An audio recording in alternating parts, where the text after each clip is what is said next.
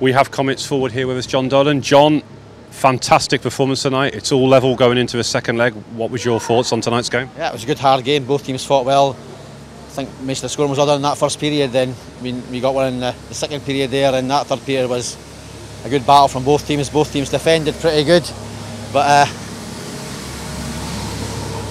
uh, yeah, but yeah, both teams defended well, played well, pucks in deep, and worked each other. It was a hard fought game. Both teams.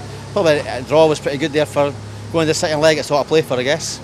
Yeah, high pace in that first uh, period, lots of goals and uh, end-to-end action. So uh, I guess it was just trying to keep pace with one another. Yeah, yeah, definitely, definitely. We was, and try to keep the puck. That was probably our biggest weakness. We probably did. Sorry, in that game, we need to keep the puck a little bit more.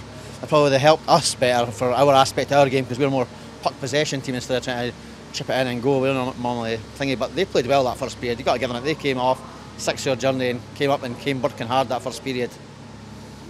Yeah. How vital then was getting that goal in that second period? Because chances were at a premium in the second and third. Yeah, definitely. That goal was massive for us.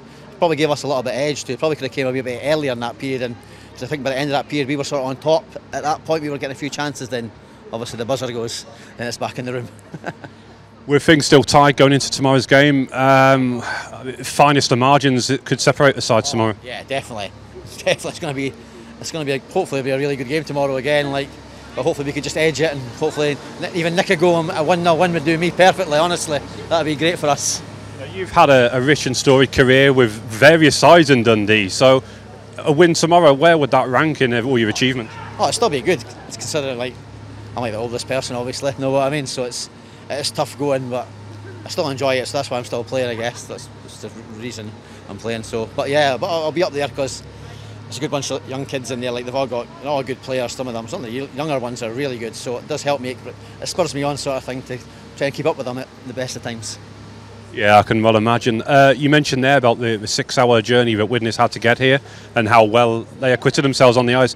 How are you going to try and match that tomorrow evening? Oh yeah, we've got to do the exact same. We've got to come out the exact same how they came out flying at us. They came out. Got to give them it. You know, they came out flying that first period, which was pretty good going to consider a six-hour bus journey. Definitely. Well, I wish you all the best of luck tomorrow, John, and uh, I'll, I'll, be tuning in to see what happens. But uh, yeah, best of luck. Thank you very much. Much appreciated, guys. Thanks for coming up.